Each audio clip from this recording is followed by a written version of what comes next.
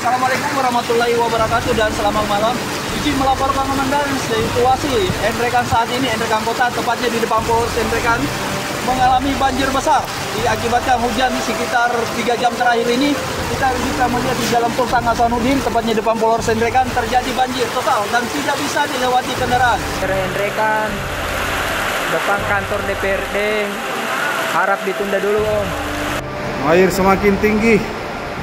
Sudah sampai di lutut.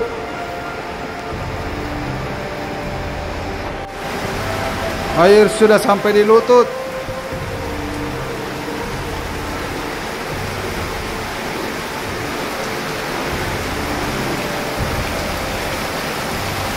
Luar biasa.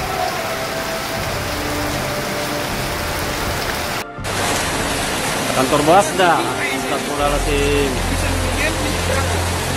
Hotel Wisma Dewi. Terus yang ini begini Indrekan ya Iya. Jalan poros. Ini Nih Nih kan.